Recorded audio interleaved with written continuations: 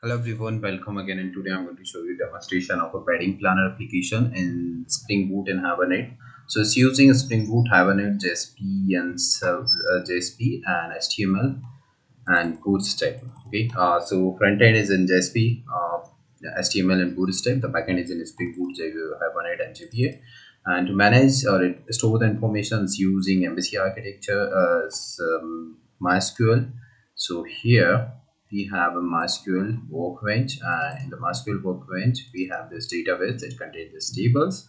And to view the data of any table just right click on the table select the first option. You will able to see the information over there. And uh, okay uh, now if you have taken this project and uh, uh from the Codebun or you want to planning to take the project so we will do the complete setup at your machine in this condition. And after that you need to follow this demo in order to execute and uh, execute and um, view the features and functionality of the application. So how can you run it? The first thing uh, this is your root folder of the project. So open it and go to src main java. This is your application.java uh, file. That is a, a runner file in case of a spring boot. So just right click on it. Go to run as run it as a java application and wait until it will spring boot will start your server and it will give you a tomcat message. Uh, like tomcat is running on a specific port number. So you can see here the messages there. Tomcat started on port number 801 now go to your src main resources folder open your application.property file. Here we have created one dummy url just copy this url at your real-time browser and there you go. Uh, you will see a welcome page. Okay now let's follow uh, how can we execute the application. So here we have an option to register as a new user. So there are two types of user admin and next user.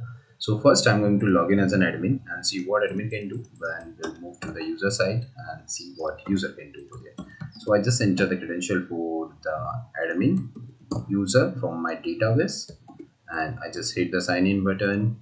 Now what i can see I can see the user list user module over there. So as a admin I can add a new user over there always. So I just enter some dummy information uh, the fields information click to add. The new user add, added here with the last name as a pick so I just added this user. If I want I can edit it as a user.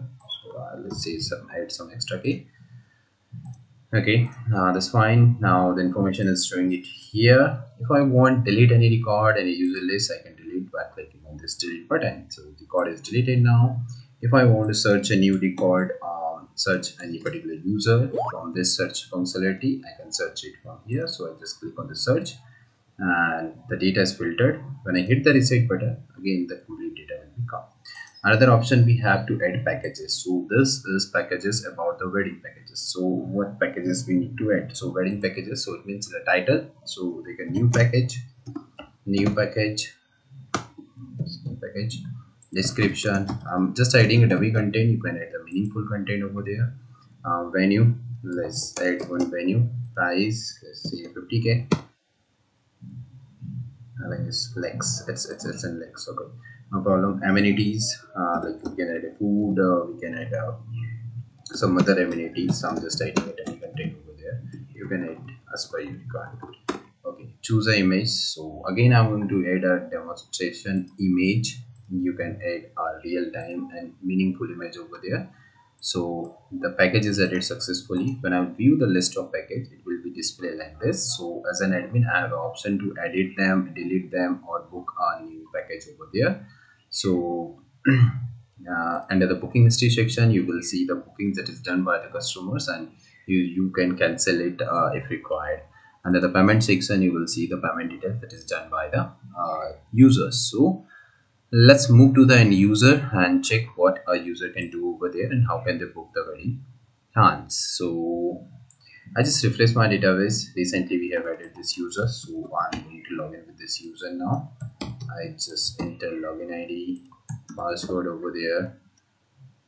Okay how will you differentiate uh, this is user or admin? So you can check the user role over here. If a new user registered as admin it will be treated as admin or it will be as a user then it will be treated as a user so I have logged in as a new user and under the package list I can check the list of packages but I'm a user and user so I don't have a permission to edit or delete these packages but I can book any of them now.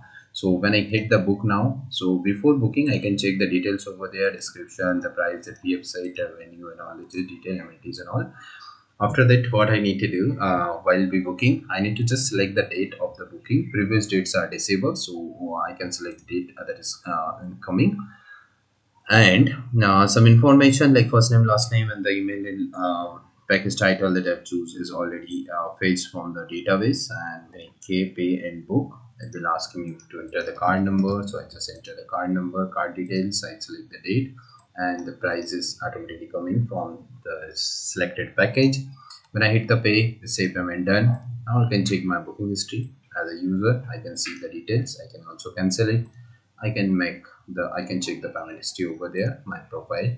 Section is there and out so it's all about the wedding planner project and spring boot and hibernate so in case you need the source code just connect over to us over the whatsapp email or skype and don't worry about the configuration set up the project. We have remote team that's going to help you to connect uh, with your machine and do the setup at your machine